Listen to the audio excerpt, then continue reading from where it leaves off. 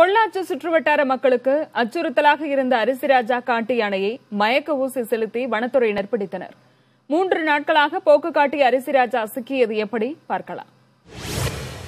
கோவை மாவட்டம் பொள்ளாச்சி அருகே உள்ள அர்த்தநாரிபாளையத்துக்குள் கடந்த சனிக்கிழமை நுழைந்த காட்டு யானை அரிசிராஜா விவசாயி ராதாகிருஷ்ணனை மிதித்துக் கொன்றது. வனத்திலிருந்து வெளியேறி விளை நிலங்களையும் வீடுகளையும் சேதப்படுத்தி மக்களுக்கு சிக்கலை ஏற்படுத்தியது அரிசி ராஜா.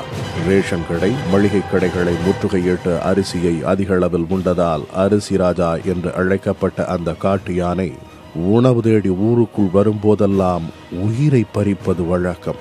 ஏற்கனவே மூன்று முறை அடர் வனத்துக்குள் விரட்டப்பட்ட அரசி ராஜா நான்காவது முறையாக வெளியே வந்தபோதுதான் ராதாகிருஷ்ணனின் உயிரை பறித்தது. இரண்டாயிரத்து பதினேழாம் ஆண்டு முதல் தற்போது வரை அரிசி ராஜாவால் எட்டு பேர் கொல்லப்பட்டுள்ளனர். அரிசி ராஜாவை விரைந்து பிடிக்க வலியுறுத்தி பொதுமக்கள் போராட்டத்தில் இறங்க அதற்கான நடவடிக்கையை தொடங்கியது வனத்துறை. வேட்டை தடுப்பு காவலர்கள் கால்நடை மருத்துவர்கள் என எழுபது பேர் கொண்ட குழு அரிசி ராஜாவை பிடிக்கும் ஆபரேஷனை மேற்கொண்டது. இதற்காக பாரி மற்றும் கலீம் ஆகிய இரண்டு கும்கி யானைகள் வரவழைக்கப்பட்டன. பாரிக்கு மதம் பிடித்ததால் அது திருப்பி அனுப்பப்பட்டு கபில் தேவ் எனும் கும்கி வரவழைக்கப்பட்டது. எல்லாம் தயாராக இருந்தது. ஆனால் அரிசி ராஜா வனத்துக்குள்ளிருந்து வெளியே வரவில்லை.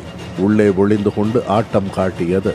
காட்டுக்குள் ட்ரோன் கேமராவை அனுப்பி தேடியும் அரிசி ராஜா இருக்கும் இடத்தை கண்டறிய முடியவில்லை. அரிசி ராஜா காட்டுக்குள்ளிருந்து எப்போது வெளியே வரும் என காத்திருந்தது வனத்துறை. அவர்கள் எதிர்பார்த்தது போலவே புதன்கிழமை இரவு ஆண்டியூரில் உள்ள விளை நிலத்துக்கு வந்தது அரிசி ராஜா. தகவல் அறிந்து உடனடியாக வனத்துறையினரும் கால்நடை மருத்துவர்களும் அங்கு சென்றனர். துப்பாக்கி மூலம் அரிசி ராஜாவுக்கு மயக்க ஊசி செலுத்தப்பட்டது.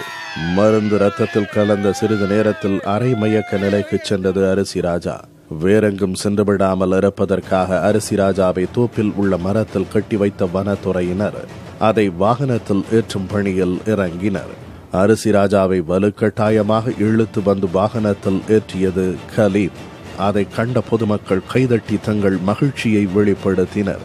மூன்று நாள் போராட்டம் முடிவுக்கு வந்ததை அடுத்து அரிசி ராஜாவை வரகழியாறு யானைகள் முகாமுக்கு கொண்டு சென்றது வனத்துறை.